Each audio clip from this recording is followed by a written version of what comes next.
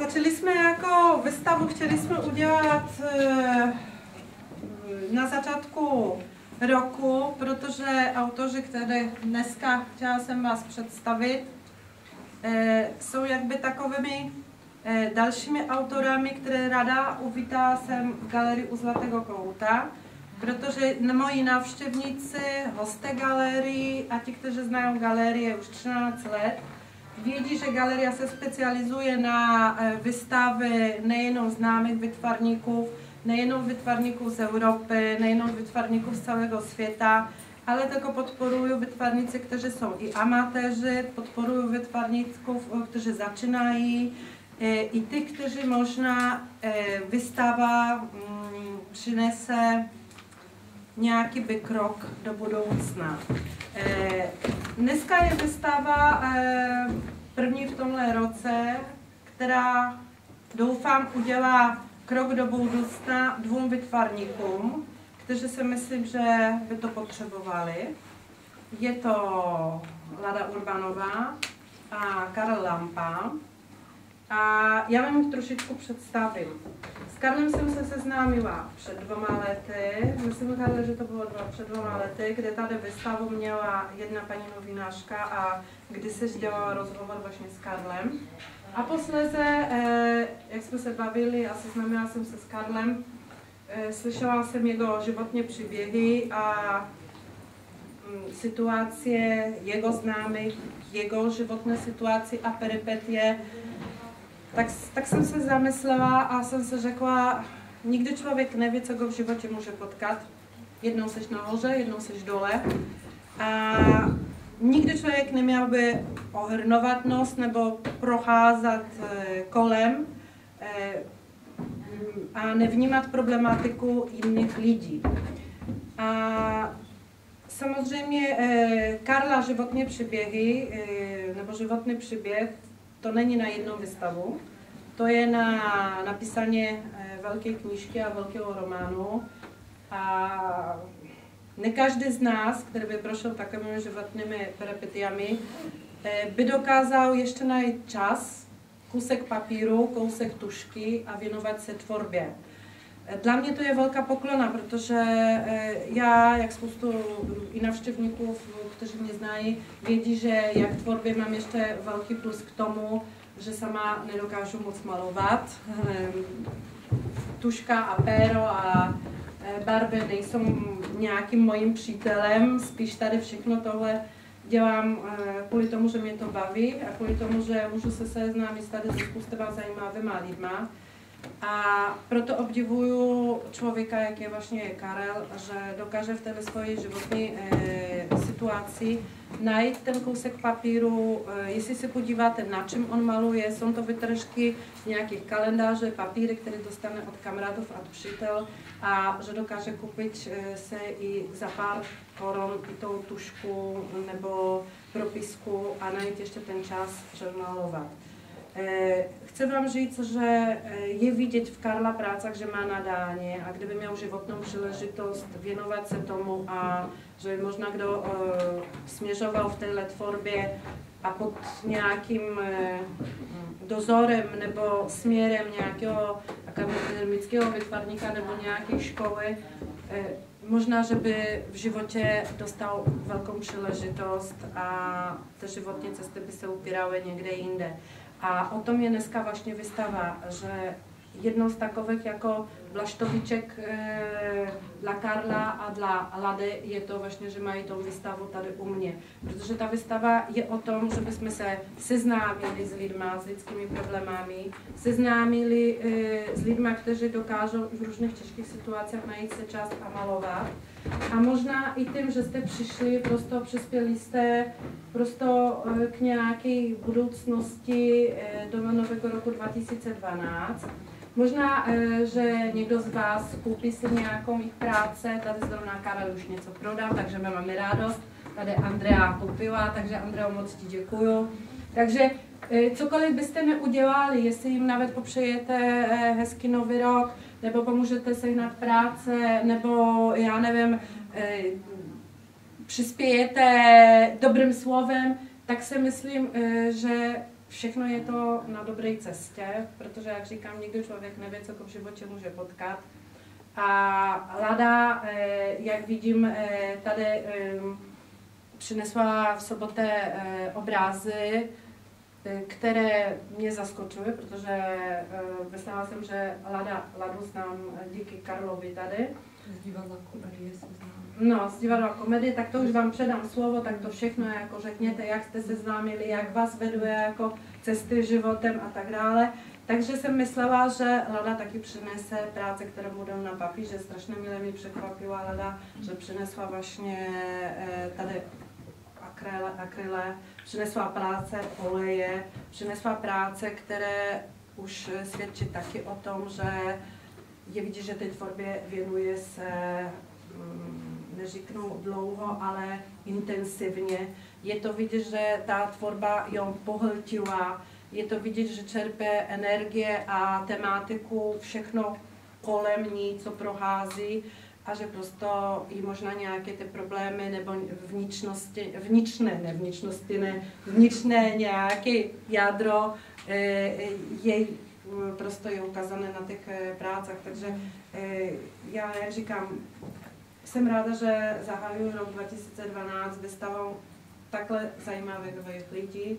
A doufám tylko, Ládo, doufám, Karle, že ta vystava u mě nějakým způsobem aspoň bude takovou malou hvězdičkou na tom nebě eh, dnešního nového roku, že v něčem nám to pomůže. Takže já vám přeju hodně úspěchu a eh, já bych chtěla, že by možná každým rokem budeme dělat nějaké malé výstavy, neříkám, že každým rokem vám dám takhle velké prostory, možná eh, uděláme tradici z těch setkání v nějakým jednom malém prostoru vždycky eh, budete mít možnost vystavovat jedné, dvě práce. Možná k vašim prácám přibudou ještě nějací jiní vytvarníci, taky, kteří mají životní problémy. Eh, já bych byla velice střícná tomu že byste takhle pokračovali. Takže já vám přeju hodně úspěchu a za to, že vy jste jako moji navštěvníky našli se čas v novém roce a takhle přišli ke mně do galerie, takže já vás vítám, moc vám za to děkuju. A kdyby, jak říkám, vás něco napadlo, měli jste nějaký plán nebo dobrý nápad, nebo já nevím, chtěli koupit barvy buď jednomu autorovi nebo druhému, v galerii jsem vždycky, začínám fungovat od února, eh, od února, protože oni mají vystavu do pátku, v pátek se to eh, sundává, já pak odjíždím na pozdější Vánoce do Polska, takže od 1. února mám tady zase budu, takže kdybyste chtěli s nimi se pak o případě sejít, taky není problém. Takže to je Karel, to je Láda, teďka vytvarníci, autoři, jo. Takže jestli chcete něco říct, Karle, tak řeknu. Já bych chtěl jenom k tomu tolik, že tobě strašně děkuji za tuhle šanci. A doufám, že tou svojí tvorbou, nebo aspoň eh, tím výřezem z té své tvorby, který tady je vystavený ten týden, budu moct obohatit lidi, protože hlavně to je důvod, proč to dělám. A e, doufám, že se mi bude dařit, protože rozhodně to není poslední den, kdy bych tvořil. Tak určitě, to já si myslím, že ty jsi štiperka, že ty se dá jako nedáš a nestratíš, Karle, to je dobré. Každopádně eh, nejsem jenom výtvarníkem, protože eh, dělám i spoustu jiných věcí. Eh, jednak dělám divadlo, samozřejmě, Lada je moje kolegyně z divadla, tady máme dalšího kolegu. A pak samozřejmě ještě dělám eh, TVSty, dělám eh, projekty, které chodí po školách a podávám informace důležitý vlastně o menšinách, takže vytížený člověk. Tak to je dobře, tak to je správně. A hlavně uh, chci jakoukoliv svoji tvorbou, ať jsou to přednášky, ať jsou to televizní věci, ať jsou to divadelní zastavení, malby, obrazy, grafiky, obohacovat lidi a přidávat něco ze sebe dál, aby něco zůstalo. Já bych vám všem chtěla moc poděkovat, že jste přišli a tady Mirele, že nám umožnila vystavovat tady s Karolem kolegou z divadla komedie obrazy. A jsem ze Vsetína a všech, všech, všech obrazy jsou vším, pro mě vším. Jsem spíš surrealista. Na Valašsku bylo spousta krajinkářů, ale s nima jsem si až tak úplně možná nenašla stejnou notu a tak možná tady se s někým setkám, někoho, někým se potkám. No a e, je to všechno průřez tvorbou, není to seřazené úplně chronologicky. A tak to je asi všechno, takže tady má poštění, děkuji vám. No tak to ještě vaši než pohoštění, tak jsem myslím... dodám, no. aby... Jo a intenzivně jsem začala malovat v Londýně, v Anglii v roce 98. Mm.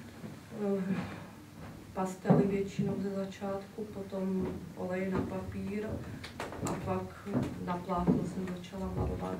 Malovala jsem uhlem portréty na ulici, po hradech jsem jezdívala.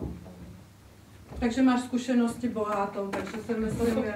A myslíš se, Ládo, kdyby, kdyby nějaký vytvárník chtěl tě vzít pod svoje křidla, myslíš, že jako bys chtěla, jako, že by nějaký směřoval či nějaký tvorbě, nebo byš raději zůstala jako u toho, co stvoříš ze svojego vnitra jako sama od sebe a nechtěla bys, že by nějaký jiný vytvarník měl na no, tebe já bych vliv. se chtěla živit nějak tvorbou, takže jako... No jasné, ale tvorbou to je v pořádku, že bys chtěla živit, to je jasné, protože maluješ, tak je vidět samozřejmě, že tě to baví a každý, kdo maluje, chtěl by, že by občas byl oceněný a jestli je oceněný, tak tím pádem jako, že se něco jo. jako koupí, to mi jasné. Já jsem ti zadala jinou otázku, já říkám, jako si myslíš si, že kdyby zůstala sama od sebe jako by samoukem a tvořila to, co prostě vidíš sama od sebe a nechtěla vliv mít jiného Ale já bych se ráda přiučila od někoho. Ráda přiučila se před někoho. Myslím, že mi oba.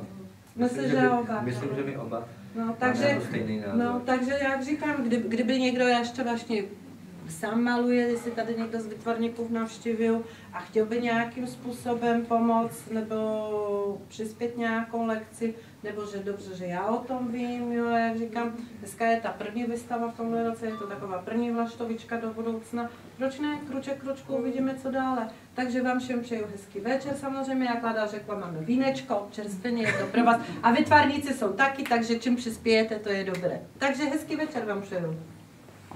Takže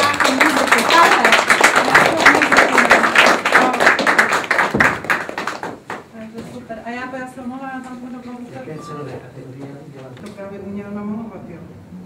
To já někdo Kočky se mi tam, no. Kočky se mi tam motaly. A tam nějaký koťata, já jsem chtěla přes ten plot protáhnout přišla k mě taková úplně škarka. Tam my jsme bydleli, takže v zimě. Přišla, to byla taková. Je to tak, já první, co jsem viděla tady, tak jsem byla úplně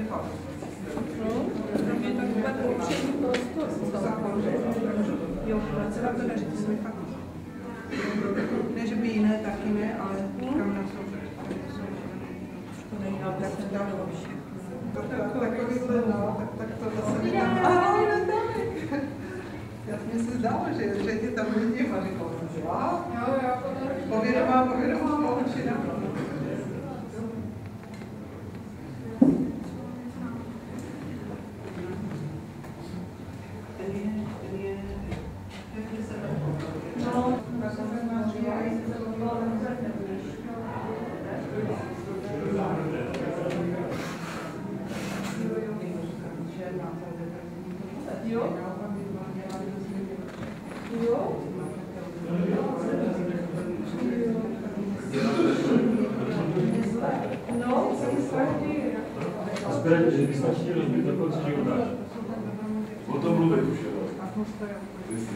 Prostě celý má.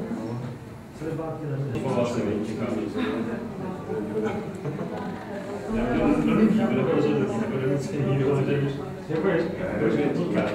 ani Viagra nebude zabírat a paní změna.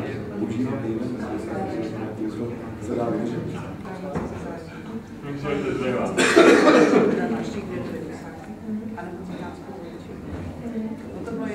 konservovali, tam, tam to bylo prostě z největších kanále vyšla. A když jsem přišla domů, tam jsem měla opravdu až pod celou dvě byly.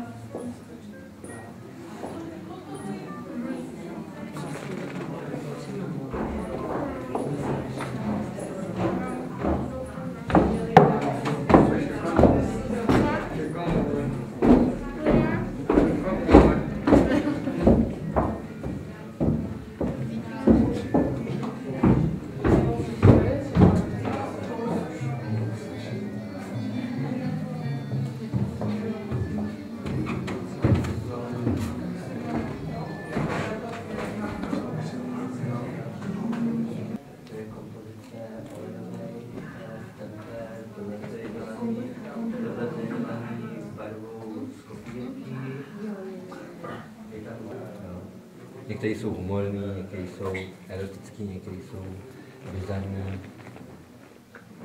Já snažím se prostě něco do toho dát i za sebe samozřejmě. Jinak letouřím prvním rokem, nějaký pátek to už bude, dokonce nějaký obrazy mám i v cizině. Mimo to dělám, říkám, to divadlo, to travesty, přednášky eh, o menšinách, o pozitivitě a tak dále, protože samozřejmě ruku s životem jde nemoc a zkušenosti s se taky nepřidají, ale jsou výbornou školou.